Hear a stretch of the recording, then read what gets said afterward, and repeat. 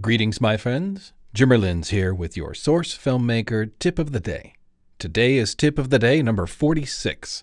As always, thanks for tuning in, for watching these uh, videos, and for subscribing to my YouTube channel, and of course, for all the great feedback. It is sincerely appreciated. Uh, and in today's tip of the day, I am going to show you how you can import models from Team Fortress 2 that are not included with Source Filmmaker. You can apply this same technique to a lot of other um, Valve games, any Source games that include model files that you might want to use in Source Filmmaker. Uh, the basic technique is the same. As you can see, I've imported a, um, a boss uh, uh, soldier bot into this uh, scene here to demonstrate that it does work. Now, in order to do this, you're going to need a tool called GCFScape. I've talked about it before, and you can find it by doing a quick Google search for GCFScape. Uh, I will post a link to where you can obtain it in the uh, uh, video description as well. GCFScape allows you to open GCF files they will be found in your program files, Steam, Steam apps folder, and then you will find a number of GCF files. And in the case of the one that we want here is Team Fortress 2 materials.gcf. As you can see, there are actually multiple GCF files associated with uh, Team Fortress 2.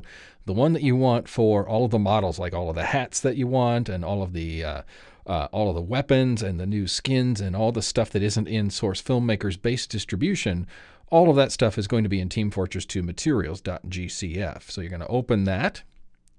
And then you will look in here and you can, what you will find inside a GCF file is it is essentially a file system.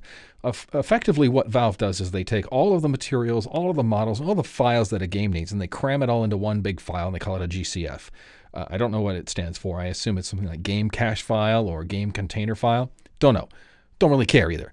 But inside is this list of folders, and it's just like the file system on your computer. You can navigate the, the folders and stuff, and you will find that there's tons and tons of stuff here. Uh, and you will need all of these files in the TF folder.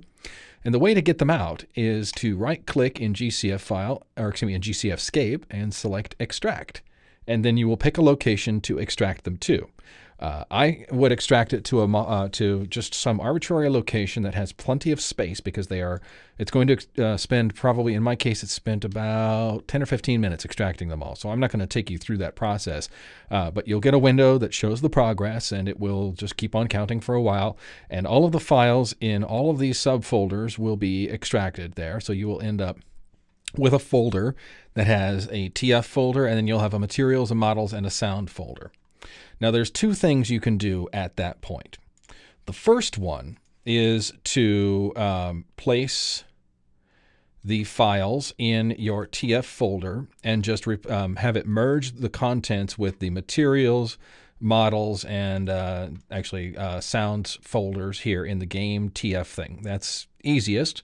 I haven't tried that myself, and I don't necessarily recommend it because whenever Source Filmmaker is updated, it can over, override the contents of that folder because that's kind of managed by Source Filmmaker. So you're going to want to be cautious with that. But you can just drop your model files in there, and as long as you have the materials and models folder, you should be okay. The sound folder is pretty much optional, I believe, but you're definitely going to want the materials and models folder uh, because that without the both of them, you won't be able to spawn the models in game.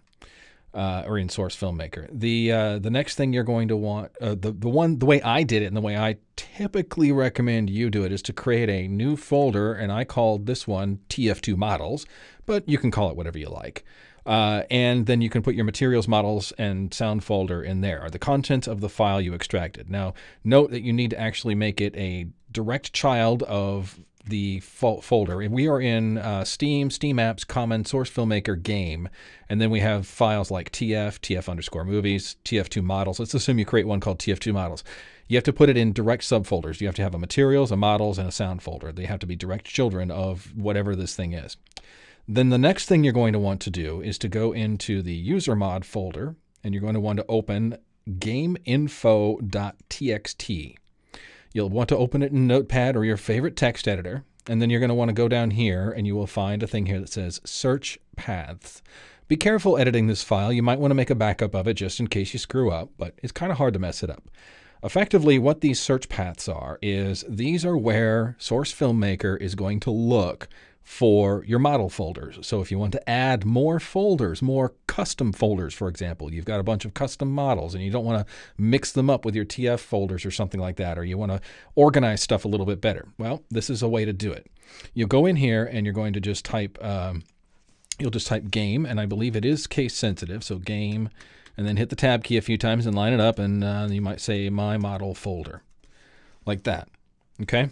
Uh, I'm not going to save this because I've already done this before, but the idea is you have to type game and then the name of a folder, and this folder has to be a child of Source Filmmaker game. Okay, so Source Filmmaker game, and so Source Filmmaker game TF2 models, or Source Filmmaker game uh, my model folder, or Source Film, Filmmaker game slash Flibberty Gibbet, whatever you want to call it, is is kind of irrelevant. Uh, the the trick is that it does need to be the same name. Once you've done that, you should either uh, shut down and restart Source Filmmaker, uh, or possibly you can use the rescan function. I think you have to restart Source Filmmaker so it will reread the gameinfo.txt. But once you've done that, you can just go create an animation set for a new model. And uh, one thing that I noticed, and I'm still not totally clear on why, but if you notice up here at the top, it actually shows TF2 models in here, but even though those files are in TF2 models, it doesn't show it, it doesn't filter them properly. I have to actually either select TF or all mods. And I think it is because these files are flagged as being part of the TF game, so it looks for them as children of the TF folder in this browser. Uh, but regardless, the the organization on the disk is mainly just to keep the files separate. So whenever they update Source Filmmaker, you don't want it to clobber all your stuff and have to go re-extract all the files and put all the files in your in your child folder and stuff again. This makes it a little easier, kind of keeps things slightly separated so you don't accidentally end up getting files clobbered by Source Filmmaker updates. Uh, so that's uh, uh, you'll want to either look in all mods or in uh, TF, depending on how you feel about it. And so let's see, I'll go ahead and spawn a Pyro, a Pyro model. So there's the uh, the Pyro bot. And what's interesting to me, and, and this is just sort of a, uh, a strange thing, is that the the bots come in red and blue skins, but we never see them except with the um, hello. Oh, I see. I pulled him outside the window, outside the uh, the area. Come on now. Yeah. Some days, some days, I tell you. Come here, Mr. Pyro. Let's go. There he is, he said. Oh, this is annoying. Get inside the box. My goodness. Fun. Okay, so there, finally. Stupid thing. Anyway, um, I find it interesting that there are red and uh, blue skins for these things. That's just a, a, a, thing that I noticed. There's actually four skins. Ha, four skins. That's cute.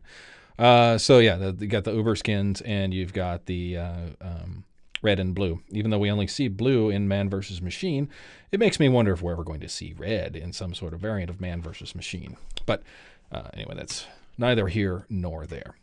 The point is, though, that is how you can obtain uh, models out of GCF files and add them to Source Filmmaker. Uh, to recap, you use GCFScape to extract the files. You put the materials and models folder as a subfolder of an existing search path, either uh, the usermod TF or a custom folder. Then you modify your gameinfo.txt to a Filmmaker, uh, and all should be good. And apparently, my video driver crashed. So, uh, that's all for now. This is this has been your Source Filmmaker tip of the day number 46. I am your host, Jimer Lins. I look forward to bringing you the next tip of the day. And in the meantime, enjoy using Source Filmmaker. Have a great day.